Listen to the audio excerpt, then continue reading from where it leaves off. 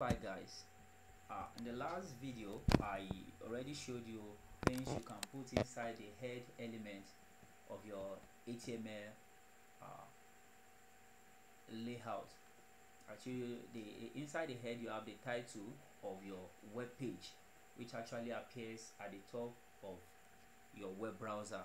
Now we're going to content to put inside the body which uh, like I said the other time the content inside your body is displayed inside the main body of your web browser. Now the first one thing we'll be talking about uh, are the heading tag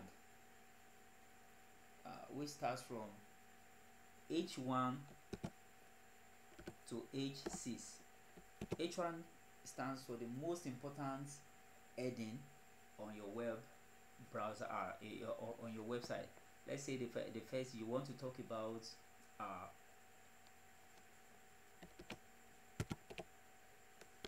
happenings on Monday.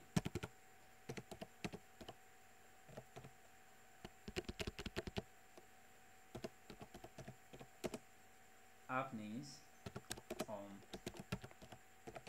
on Monday. Let's say you want to you wanted to write an article happening on Mon happenings on Monday. So that would be the heading for that part. So now uh, after the heading the next thing you do is to have a paragraph. Just like when you are writing notes you always have a topic for what you want to write. So the heading uh, stands for like a topic. So after the topic the next thing you you have to create a paragraph. Now we also have paragraph. Paragraphs uh, you can actually it, it will hold more content than the heading let's now say we want to describe what happens on Monday. Say a typical Monday for most Nigerians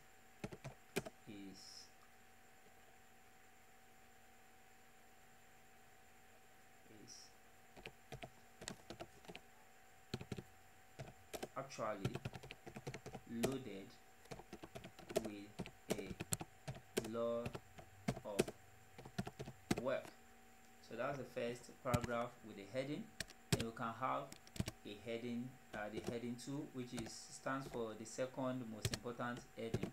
Let's say what what we want to have uh, let's say we want to talk about food menu. Food menu that's for h2 food menu P we can describe it. List of food for our customers. This doesn't have to be the content for the website you are building. I'm just using it as an example picking up the examples randomly. Alright the next one is the h3 uh, which is let's say uh, t-shirts. We want to talk about t-shirts here. Then the next one uh, heading 4 let's say we want to talk about shoes here. Then heading 5 h5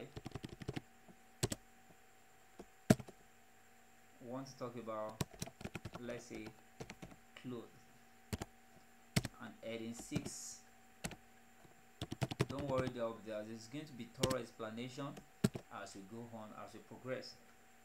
I just want you to familiarize yourself with what we are called heading and paragraphs in an HTML website. Then h6 let's say we have my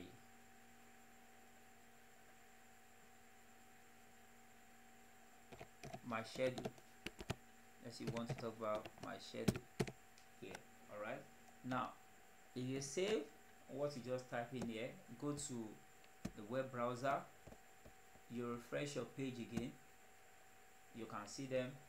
Starting with the most important heading which is h1 happens on monday it is the biggest. Then you have the paragraph inside it. Then you have food menu which is for h2 you have